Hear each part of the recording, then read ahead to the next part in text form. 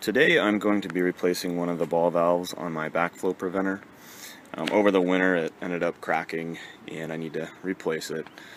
I see a lot of people replace this entire structure. Um, you can buy this as a single unit but it's about $70 or so where I was able to find the exact ball valve I needed on Amazon for about 14 so big uh, cost savings there if you want to do this job yourself, certainly capable of doing it.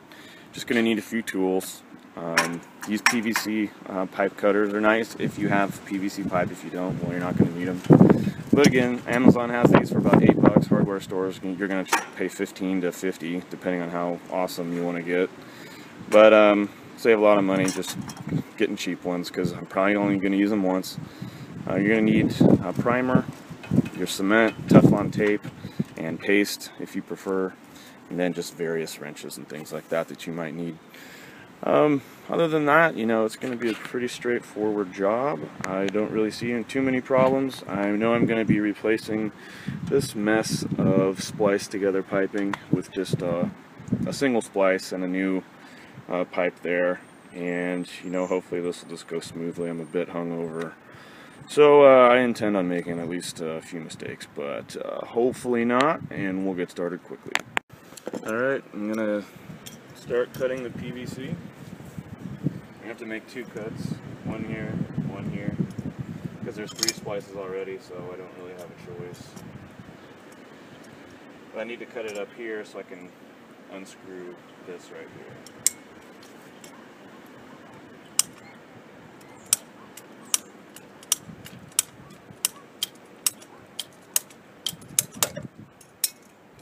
that. I'll do one more.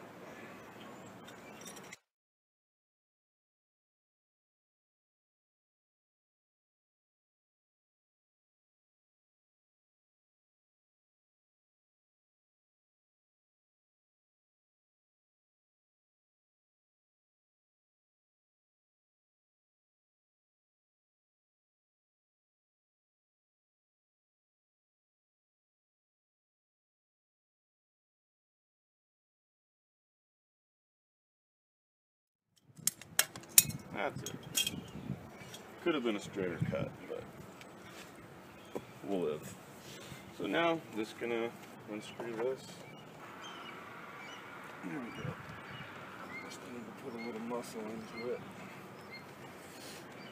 Again, I'll blame the hangover.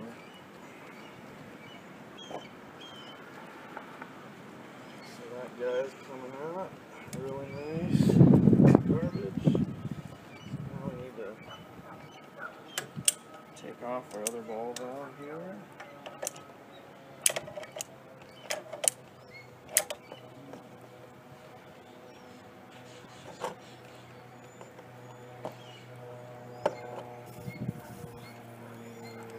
I'd like to say my water's off, but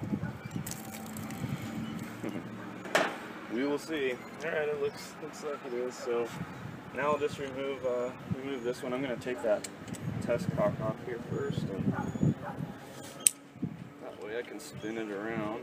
Some of these pull out of the house quite a ways, but mine doesn't. So that's why I have to go this route by kind of disassembling the whole thing so I can have the ability to unscrew it.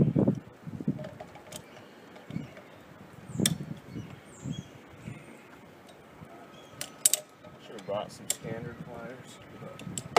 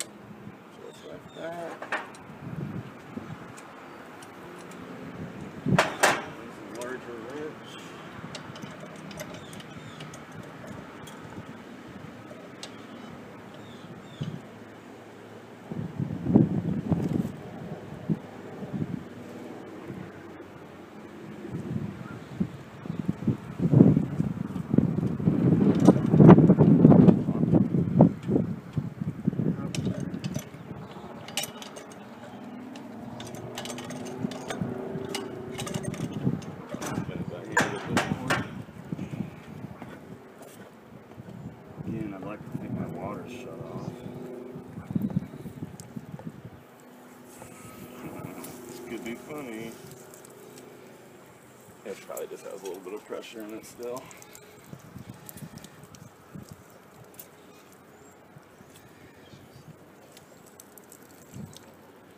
Alright.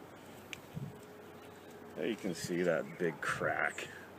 Hopefully you can see that, but that was causing some problems. So anyway, that's disassembly. It took, you know, if I wasn't dicking around so much, it would have taken even less time. But that's that. Okay, so I went ahead and cleaned up all my fittings, my connections here. As you can see, I installed some new Teflon tape on this one already. Uh, remember to put your tape on clockwise, and better safe than sorry, just do about 10 uh, full circles. And make sure you're cleaning up all the old uh, tape, Teflon tape, or if they use the paste, get that all off of there, and then uh, just retape it up. So uh, that is what I've done. Alright, so one other thing I'm doing just for added security and my own OCDness is I'm going to put a little bit of the paste over the tape as well. That's just to make sure that it's completely sealed and it's not going to come, it's not going to leak on me. You know, I don't want to do this job twice. So I kind of prefer to double up my precautions if I can. And that way, you know, we're just doing everything we can to make sure that we don't have to do this job again because we screwed it up.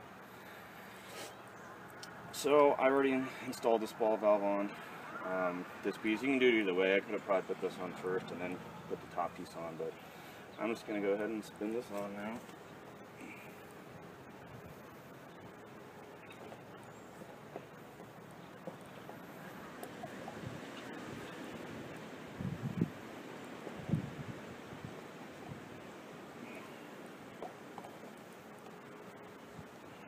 Get my hands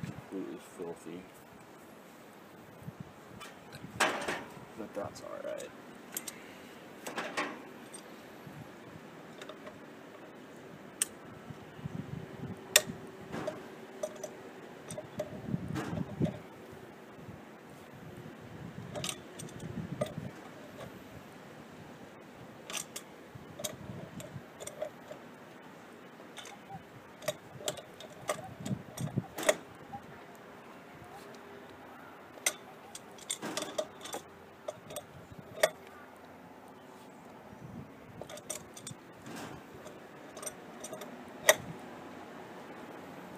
I only go a couple more turns, maybe just one. Might be done on this one. You just don't want to over tighten things and have them start breaking on you. So I'm gonna go one more. And call it a day on this.